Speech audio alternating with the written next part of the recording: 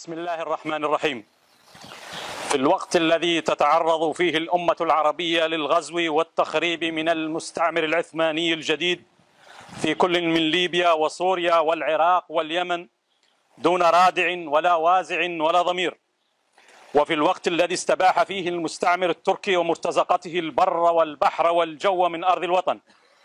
وفي الوقت الذي تخوض فيه القوات المسلحة العربية الليبية أشرس المعارك بإمكانيات متواضعة وجهود محدودة ضد مستعمر استجلب أقوى الأسلحة وأحدث الأنظمة وحشد المرتزقة والإرهابيين المأجورين والمؤدلجين من كل بقاع الأرض. يلتقي أبناء القبائل الليبية في المجلس الأعلى لمشايخ وأعيان ليبيا اليوم من أجل استحضار كل المواقف الوطنية والآمال الكبيرة في نفوس كل الليبيين وكل العرب. تجاه ما يرتكبه المستعمر التركي الجديد ومرتزقته وميليشياته من جرائم وتغول وتوسع في أرض الوطن وتمكين خطير للتنظيم العالمي المحظور تنظيم الإخوان المفسدين من أجل السيطرة على العقول وعلى مصادر الطاقة في المنطقة بأسرها إن الدور التاريخي الذي تشهد به كل القبائل الليبية لإخوة الدم والجوار والمصير المشترك مع الأشقاء في جمهورية مصر العربية كان ولا زال وسيظل هو الدور الأكبر الذي ظل الشعب العربي في ليبيا ومصر يعقد عليه الآمال في كل مراحل تعرض القطرين للغزو الاستعماري عبر التاريخ. وستظل مصر هي الشقيق الأكبر لكل الأقطار العربية. تأوي العرب حين يطاردهم الظلم. تنصر ضعيفهم حين يرهبه القوي. تنتصف لمظلومهم حين يقهره الظالم. تغيث لائذهم حين يطلب جوارها. أثنى عليها نبي الأمة محمد صلى الله عليه وسلم. وأوصى خيرا بأجنادها خير أجناد الأرض. أجناد صنعوا تاريخا مشرفا وإرثا عريقا يستحق الإعادة بكل فخر. أوصل أبناء مصر العظام إلى أبواب إسطنبول ذات يوم.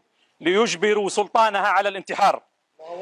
إن أبناء القبائل الليبية وعبر كل تاريخهم النضال ضد المستعمرين لم يغب الدور المصري عن نصرتهم في أحلك وأصعب الظروف ولم يغب الدور الليبي أيضا عن نصرة إخوته في مصر حين تعرضت مصر للغزو الصهيوني في حرب أكتوبر 1973 واليوم وقد بغى المستعمر التركي على البلاد وجلب المرتزقة والعلوج والإرهاب باتفاق دنيء عميل لا يملك أي شرعية في تمثيل الشعب الليبي ولا يخوله أي تشريع محلي أو دولي في ذلك فإن مشايخ وأعيان القبائل الليبية يعلنون الآتي.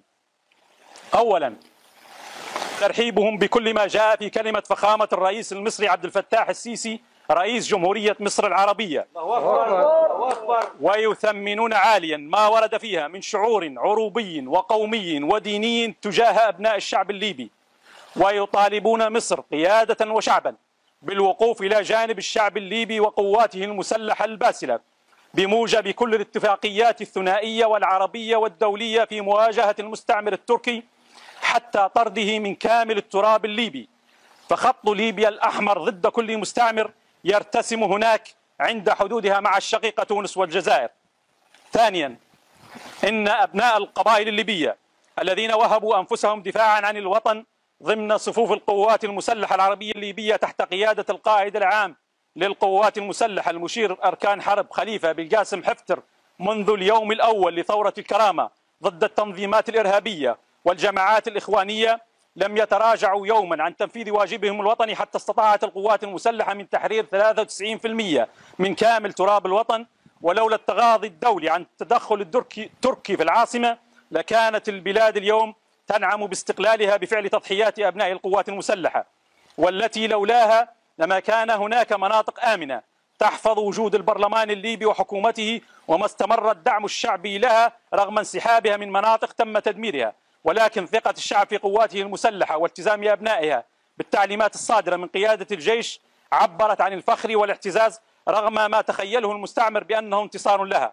وما خروج قبائل ترهونة بكاملها تحت حماية اللواء التاسع إلا نموذج لعلاقة وثيقة بين القوات المسلحة والشعب الليبي.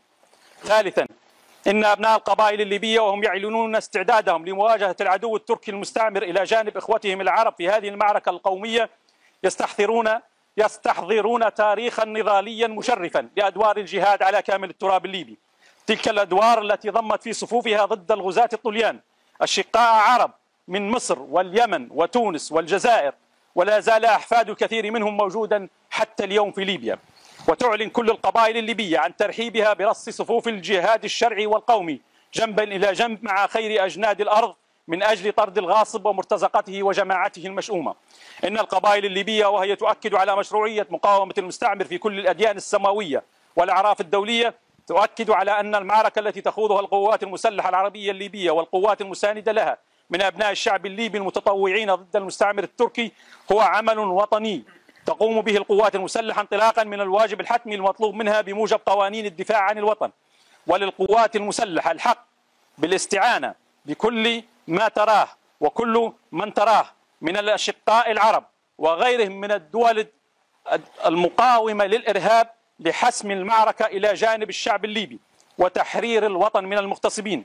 ومن هنا يدعو المجلس كل أبناء القبائل الليبية إلى الخروج في مساندة قوية وداعمة في كل ميادين النضال لمؤازرة معركة القومية العربية ضد المغتصب التركي والنصر لجيشنا البطل المجد والخلود للأمة العربية والهزيمة والصغار للخونة والاستعمار المجلس الأعلى لمشايخ وأعيان ليبيا بنغازي 21 يونيو 2020